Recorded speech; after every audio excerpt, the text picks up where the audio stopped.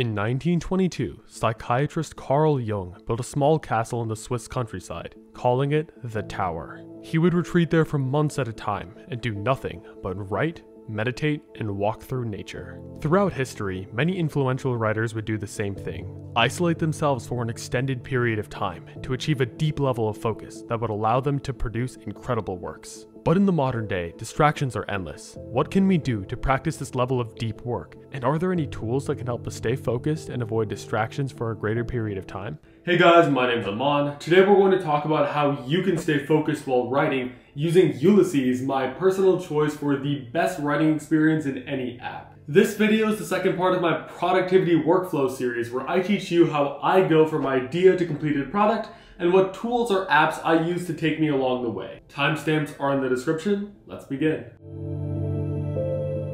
When Jung was doing nothing but writing in isolation in the Swiss countryside, he was performing something called deep work. According to Cal Newport, Georgetown professor of computer science and author of Deep Work, deep work consists of professional activities performed in a state of distraction free concentration that push your cognitive capabilities to their limit. These efforts create new value, improve your skill, and are hard to replicate. Basically, anytime you perform a difficult task in a deeply focused state without any distractions, you're performing deep work. According to Newport, his best students don't spend any more time studying than the rest of them. They actually spend less time preparing, on average. What differentiates them is their level of concentration, their unique ability to stay deeply focused in the time that they actually do study. In other words, it's their ability to perform deep work which separates them from the rest. Deep work is also extremely useful for writing. When I write, I usually do so for extended periods of time. I don't usually like to chop up my writing sessions over a few days. I find it so much more productive just to sit down and get the whole thing done in one sitting. This is because I usually take 10 minutes to ease into the writing process.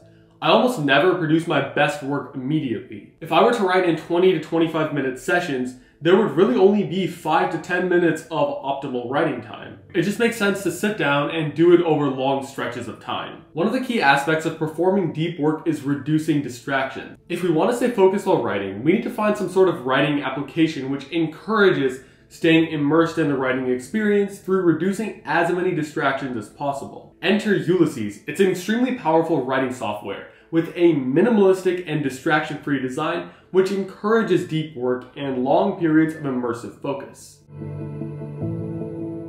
Ulysses is a dedicated writing app that totally changes the writing process. Whenever you write in more traditional mediums like Word or Google Docs, a portion of your focus is dedicated to the formatting. This is not the case with Ulysses. It's entirely content driven, using an enhanced plain text system. I'll talk about this a little bit more later on. Ulysses serves a very specific purpose in my productivity arsenal.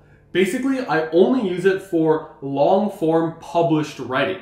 This means that I only write my newsletters and articles in it. I don't take notes in it, I don't take scripts in it, I don't store any messy stuff in it. Ulysses is a very formal, clean software that I only reserve for my best publishable writing, not just anything. So if we think about my workflow, first I always start out with an idea. You can watch my last video if you want to know more about how I come up with those. Then if that idea is for an article or newsletter, when I actually get around to focusing on it, I will write it and store it long term in Ulysses. I just find Ulysses so much better for that long form writing use case than any other application. If you open up Ulysses for the first time, you'll see something like this. We start out with the library, which is the highest level structure in Ulysses, which is on the left. Then we have the sheet list over here in the middle. That's where all of your sheets are stored, more on those later. Finally, we have the editor, which takes up most of the viewing space. The editor is where you'll do all of your writing and editing. If you press Command 3 like this, it will hide everything and just show the editor. Likewise, you can press Command 1 and 2 to show the other windows. Let's talk about the library. The library is where you can create and organize the highest level structure in Ulysses, which is a group. You can see over here how I have books, articles, and Thoughtful Thursday. In short, groups hold multiple sheets together. So if I wanted to create a structure to hold all of my newsletters, I would probably create a group called newsletter. If you open a group, you can see multiple sheets in the sheet list over here. A sheet is the style of document that Ulysses uses. Basically, you create a sheet for every article, essay, or paper you are writing. You can easily create a new sheet like this by going up to the top, clicking File, New Sheet, or the shortcut for that is Command N like this.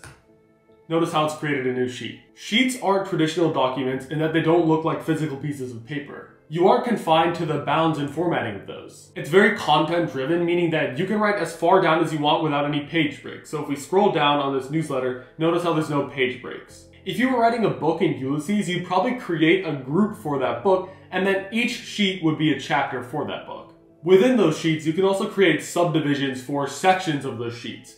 I won't get into these advanced features, but just note that there's a lot that you can do with Ulysses. Ulysses is special because it separates the formatting from the writing. Basically, when you write in Ulysses, you'll never have to worry about design or the formatting as you're creating. This keeps you focused in rather than trying to do multiple things at once. Markdown is a style of text editing that Ulysses uses. Basically, it assigns specific text which defines the formatting as you're writing. It sounds kind of complicated, but I'll show you exactly how it works. Basically, instead of doing the bold thing in Word or Google Docs where you have to highlight it and click bold, all I have to do is encase a word with double asterisks to bold it. As you can see right here, I've done that with hello world. If we remove them, notice how it's gone back to normal now. If you want to italicize something, all you have to do is encase it with an underscores like this. If you want to create different headings, all you have to do is start it off with the number sign. This keeps you totally immersed in the writing experience, allowing you to focus on the content and nothing else. Markdown is really easy to get used to. There are many more key combinations which you can easily find in the Ulysses Documents and Help menu. Over time, you'll pick them up pretty quickly. So why is Ulysses better than the alternatives? Well, if you ask someone to write something, they probably immediately look to Microsoft Word or Google Docs. So let's take a look at those and compare them to Ulysses. First, let's take a look at storage. Ulysses uses something called a hybrid storage system. Ulysses automatically uses iCloud to sync and store your sheets. Everything is safe and secure out of the box, and you can easily access it on any device without any additional effort everything is still stored on your physical device, meaning that if you don't have internet or you're on the go, you can still access everything you have and use all the same features. With Word, you're storing all of your documents as physical files in some sort of file structure that you have to create yourself. First of all, this is purely local, meaning that unless you're using some sort of additional cloud structure, if your computer dies, you basically lose everything, all of the writing that you've done. Even with Google Drive, it's only cloud-based and it's not only made for documents meaning that you have to create folders and then folders and then folders to organize and store everything yourself. This is a lot of upfront work and doesn't really immerse you in the writing experience. So I've opened Google Drive and I'm immediately hit with a thousand files and a thousand random documents.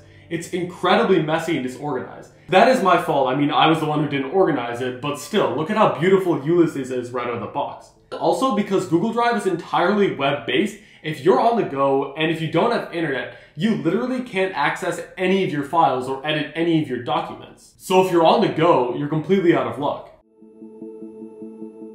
So we've opened a Google Doc and notice how you were immediately lambasted with a thousand different options and toggles and colors and features right at the top. I mean, when you're writing, you don't really need any of that stuff until you get to the formatting.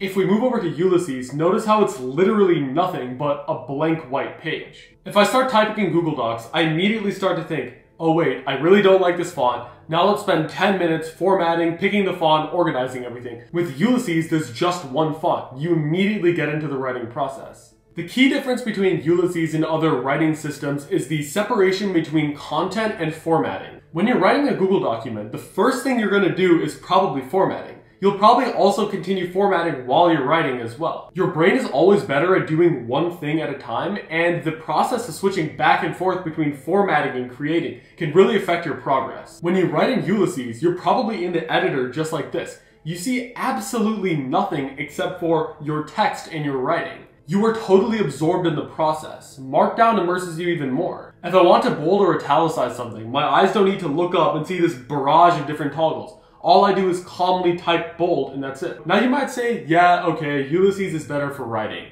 but it can't do any of these complex formatting or colors.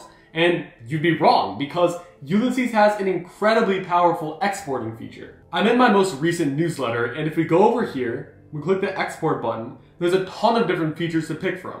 My favorite is the quick export PDF columns. So let's click that and I'll show you exactly what it looks like. So I've gone ahead and exported it and look how great it looks. It's so readable right now, and this would take at least 10 to 15 minutes to set up in Microsoft Word. And Ulysses does it automatically. There are so many custom features and options that you can choose after you finish writing with Ulysses to pick the perfect export template.